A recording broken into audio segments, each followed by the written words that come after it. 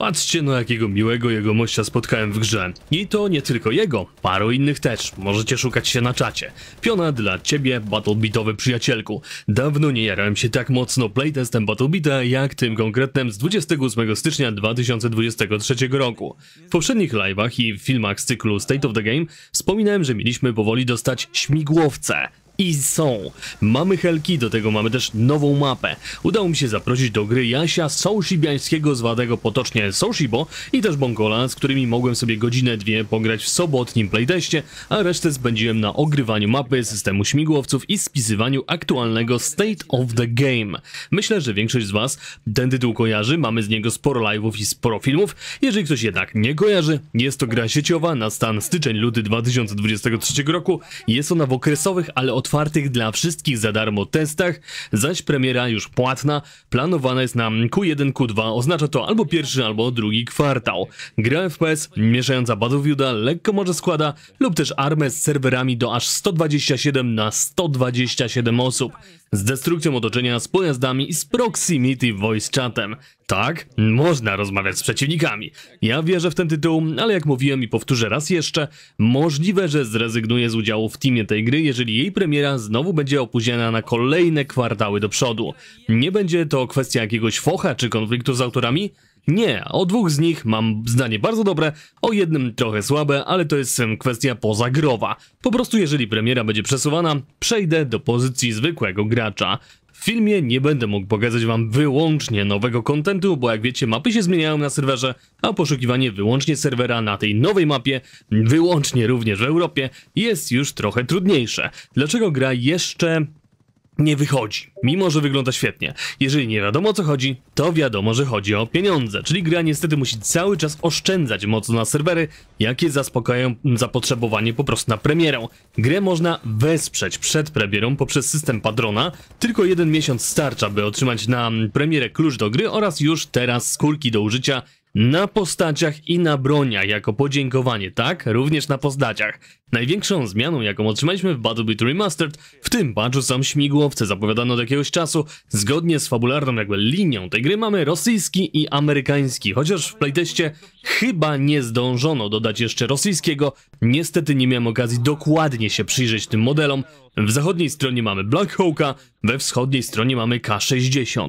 Śmigłowce występują przede wszystkim na dużych i otwartych mapach, szczególnie nowej, zimowej, o której za chwilę, ale niestety nie mogę wam potwierdzić na 100% na jakich mapach będą. To jest jeszcze w fazie powiedzmy trochę planowania, rozmyślania i oczywiście testowania, a także decyzji czy śmigłowce nie zaburzą na niektórych mapach balansu. Wiadomo jest, że na mapach Conquest, czyli na trybie podboju, są.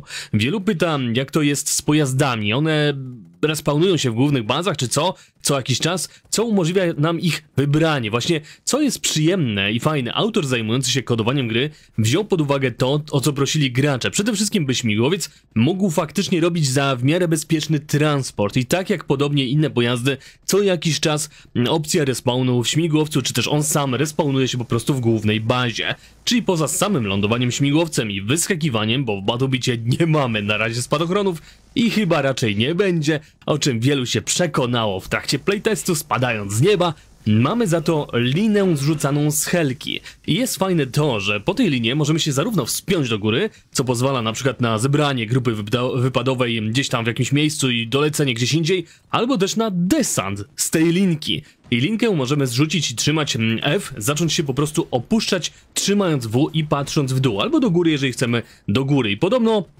Podobno linkę zrzuca się klawiszem Q.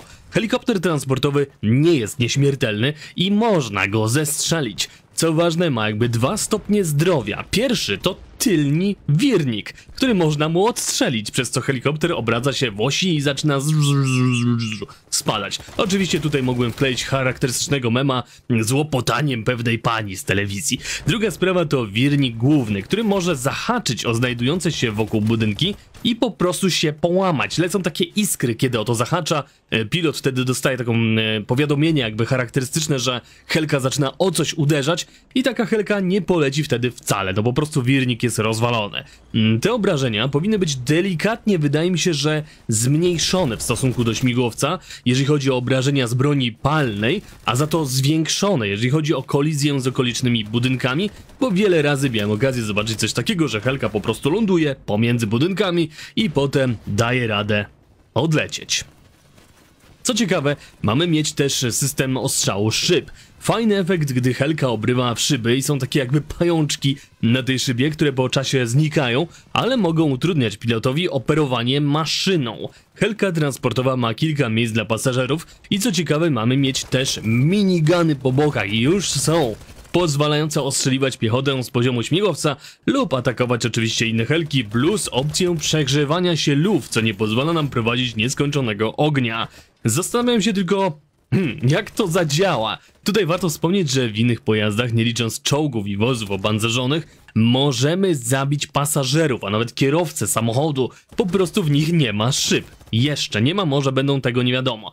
Da się sprzedać komuś heada ze snajpy, gdy ktoś jedzie na przykład jakimś Humvee z bazy i prosto między oczy. Śmigłowiec jest nieco lepiej broniony, ale według mechanik mamy mieć opcję zabicia przeciwników na bogach, czy też spuszczających się na linach. Same helki mają mieć lekko więcej zdrowia i być zdecydowanie szybsze niż to miało miejsce w pierwszych testach, więc w kolejnych testach będą już troszeczkę lepiej działać. Mogą się też pojawić pytania o helkę bojową, czyli na przykład śmigłowce Apache mm, albo odpowiedniki rosyjskie. Na razie odpowiedź jest prosta. Nie wiadomo. O śmigłowcu transportowym wiedzieliśmy już z dwa miesiące temu, gdy modeler broni i pojazdów wykonywał właśnie model śmigłowca transportowego. O bojowym na razie nic nie wiemy, ale musimy też pamiętać, że wraz z szybkim śmigłowcem musiałoby się pojawić bronie przeciwlotnicze naprowadzane, a takich na razie w ogóle w Battlebicie nie ma. Z helkami w tej grze, jeżeli chodzi o śmigłowce bojowe, byłby raczej ten sam problem jak z samolotami, a o nie też gracze pytają. Wielkość mapy jest trochę za mała, mamy tego po prostu za mało terenu. Dlaczego? Otóż w innych grach mapy bywają mniejsze niż są w Battlebicie na maksymalnym trybie, ale mają dużo większe pole nieaktywnej przestrzeni walki wokół, gdzie samoloty właśnie się mogą zmieścić. W przypadku Battlebita nawet największe mapy na 250 graczy są w dużej większości dostępne dla pojazdów i dla piechoty i mapa jest po prostu skończonym klockiem, sześcianem można powiedzieć, ale bez tła wokół. To są najczęściej niedostępne jakieś takie rzeczy jak góry, woda, coś i samolot ma za mało miejsca, by wylecieć poza ten obszar. Helka bojowa to nie jest w sumie zły pomysł, nawet na te największe mapy. Wydaje mi się, że mogłaby się zmieścić, o ile dobrze zauważyłem na nowej mapie Isle, o jakiej za chwilę, mamy do dyspozycji sześć To jasne, śmigłowców, to po dopiero trzy na każdą stronę. takiego To jest dość okej, z istnieje. dużym plusem, więc i Helga bojowa też mogłaby się tu jakoś zmieścić. Jeżeli chodzi o nową mapę, jest to właśnie The Isle, czyli wyspa. Jest to pierwsza zimowa mapa, na której dodatkowo wali śniegiem. Nie jest tak gęsty, No, ale jest polski. Cechą charakterystyczną mapy jest też zatoka, w której znajduje się spiętrzona kra oraz duża liczba pojazdów na trybie 127 na 127. Tam jest przynajmniej ładne kilka czołgów i wozów opancerzonych na stronę i jak mówiłem chyba trzy śmigłowce na stronę. Mam wrażenie też, że Will, czyli autor Co? mapy. Battlebicie, troszeczkę chciał dać z łokcia Battlefieldowi, bo po środku mapy znajdziemy ogromną konstrukcję, podobnie jak na nowej mapie z katastrofy nazwanej BF 2042. Z drugiej można podejrzewać, że mapa znajduje się gdzieś w Rosji. Dlaczego? Bo główny obiekt mapy przypomina nieco taki radar Don 2N. Oczywiście w Stanach Zjednoczonych były podobne, ale tutaj znajdujący się niedaleko Moskwy duży obiekt przeciwrakietowy, przypominający taką uciętą piramidę, właśnie może gdzieś na północnych, zamarzniętych regionach Rosji. Will wykorzystywał też modele budynków z innych miast, czy powiedzmy z innych mapek, zanążając je w ziemi oraz dodając tam przejścia, co daje takie fajne uczucie różnych sekretnych bunkrów rozsianych po niby dość płaskiej mapie. Jej sens i mechanikę zmienia jednak coś innego. Bardzo dużo roślinności. To pozwala nam na dostanie się w inne miejsca bazy trasami bez rozpoznania przez piechotę wroga. Mapa jednak pozostaje dość otwarta i bardzo przyjemnie się snajpi. Z drugiej strony mm, przyjemnie się może, tu, możemy się tutaj przekradać w tej roślinności. Zaś na wielkiej uciętej piramidzie można też zrobić punkt taktyczny poprzez desant śmigłowcem. Mamy też do dyspozycji łodzie motorowe, co pozwala na wejście przeciwnikowi gdzieś na plecy. Mapa The Isle to w sumie fiordy i wyspy właśnie pokryte gdzieniegdzie lodem. Jedyne co trochę mnie tutaj drażni to może Może delikatnie niech będzie brak wysokiej zabudowy. Mamy kilka zbiorników, na które można się wspiąć po lince, ale dalej jest to bardzo, bardzo widoczne miejsce. Z drugiej jednak białość mapy sprawia, że trudniej zauważyć snajperów ukrytych gdzieś tam pomiędzy krzakami, których po prostu błysk lunety zlewa, zlewa się nieco bardziej z tym śniegiem oraz ośnieżoną roślinnością. Finalnie, cieszę się, że mamy nową mapę. Prawdopodobnie nie będzie to ostatnia mapa przed wydaniem do wczesnego dostępu, jaki jest planowany, jak mówiłem, Q1, Q2, czyli kwartał pierwszy, drugi, albo też nowa mapa będzie bardziej już na wczesny dostęp. Kolejna po takiej jakby urywce, jaką teraz widzieliście. Dlaczego tak sądzę, że będzie kolejna jeszcze mapa? Bo na grafice przedstawiającej plany na mapy kilka miesięcy temu, nie mogę niestety tej grafiki znaleźć, było jeszcze kilka innych mapek, jakich tutaj nie mamy. Na pewno na wydanie wczesnego dostępu mamy otrzymać więcej broni. Te są już omodelowane, nie są jeszcze oskryptowane. Są też pytania o community serwery, AGT stawiane przez społeczność graczy. One są w testach, widać kilka takich serwerów w wyszukiwarce, już w trakcie testu widać, że to jest community serwer, ale kiedy to nastąpi dla wszystkich, na razie nie wiadomo. E, Czy ja sam postawię swój serwer brodełkowy do Battlebit Remastered? Możliwe. Wszystko zależy od ceny dla slota. Wasze wsparcie poprzez płatne subskrypcje zawsze pozwala kupować mi gry do testów, ale też czasami postawimy jakiś serwer. Postawiliśmy kiedyś do BFA, do Valheima i do innych gierek. Oczywiście wspierających wtedy wrzucę gdzieś na whitelistę, bez kolejki. Oczywiście te serwery nie będą istnieć cały czas. Do Okiego, jako głównego dewelopera Battlebita, mam bardzo dobre podejście, bardzo dobrą jego ocenę, jeżeli chodzi o tworzenie gry. Jest to gość, który myśli i analizuje to, co mówi mu społeczność gry, jak jest po prostu feedback. Ze śmigłowcami były trzy problemy. Po pierwsze, właśnie pierwszy ich test sprawiał problemy ze stabilnością serwerów w ogóle, ale od razu poleciał hotfix, działa. Druga sprawa to ich prędkość. Były za wolne i lot z bazy na środek mapy zabierał czasami 20-30 sekund. Teraz są szybsze i bardziej zwrotne. Gracze narzekali, że minigany są słabe. Faktycznie duży rozrzut, wolny lot pocisku mm, do celu i słabe obrażenia. Wiele razy byłem pod ostrzałem śmigłowca, i nie specjalnie sobie cokolwiek z tego robiłem. Te obrażenia zostały zwiększone o 1 trzecią, co już według testów może stanowić zagrożenie dla piechoty oraz dodano prędkość pocisku o 1 trzecią, czyli pociski są o 1 trzecią szybsze. Helki dzięki temu może będą bardziej użyteczne przeciwko piechocie.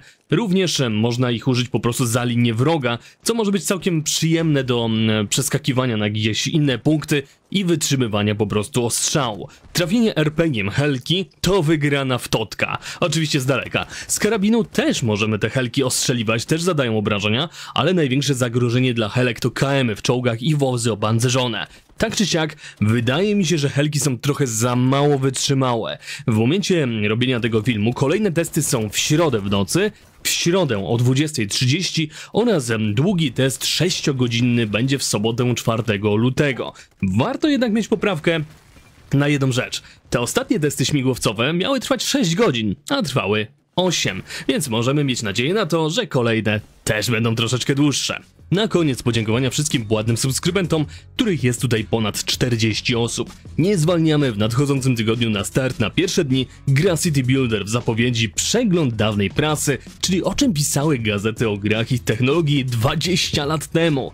Może też spróbujemy podejść do jakiegoś krapa. Mam jednego na celowniku, a dawno nie było. Będzie o niemowlakach, ale też o zombie. Brzmi absurdalnie?